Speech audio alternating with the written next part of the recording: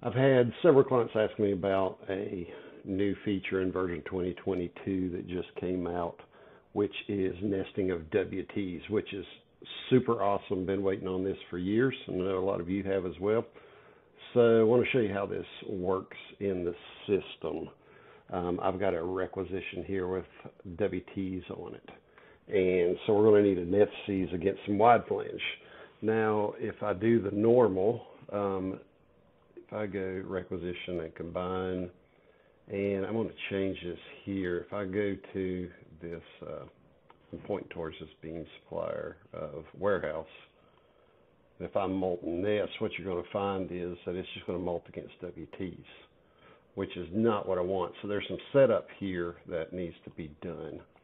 Um, first of all, if I go shapes, grade, sizes, you're going to find that if I go down to wide flange, there is a new tab here for splits. And so you can see if I go on down, 6 at 20 is can split into WT 3 by 10. Now that's our, this is already going to be in your system in version 2022. It's not nothing you got to do, but I want to point out that that is there. So you could really add additional if you want to, kind of like some uh, offset tees if, um, if you wanted to. But there's um, there's setup that's already done. Now, a minute ago when I pointed towards that warehouse supplier, the reason it mult against WTs is because there's a WT option in this pricing maintenance.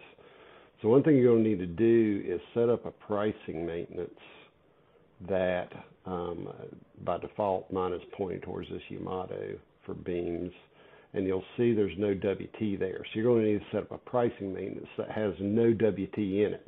Because if you point towards the pricing maintenance or the supplier that um, has a WT in it, it's going to mult against WTs. But if you point towards a supplier that does not have a WT in there but just has wide flange, then you're going to be able to do your WTs. So that's a little bit of setup that you need to get done there.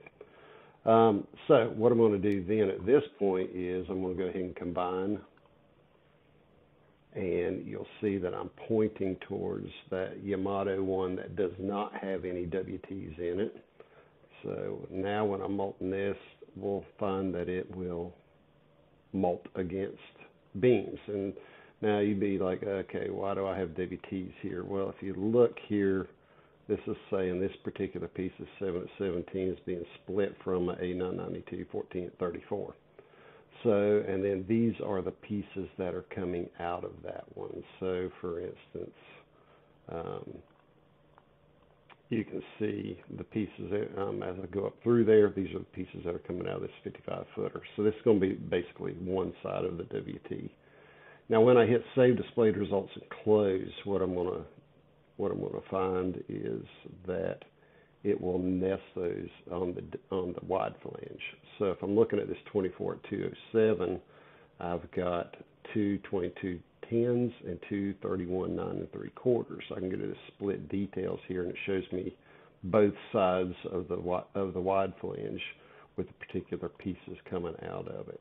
So I'm not going to take the time in this video to really kind of dig into adding parts, removing parts, and doing all, all of that jazz, but it, it works pretty much like the um, uh, manual combining um, where I could add parts on the requisition too here if I wanted to.